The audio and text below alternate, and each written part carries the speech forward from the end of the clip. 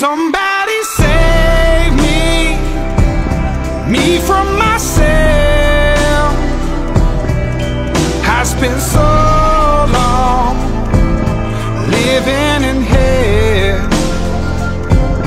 They say my lifestyle is bad for my health.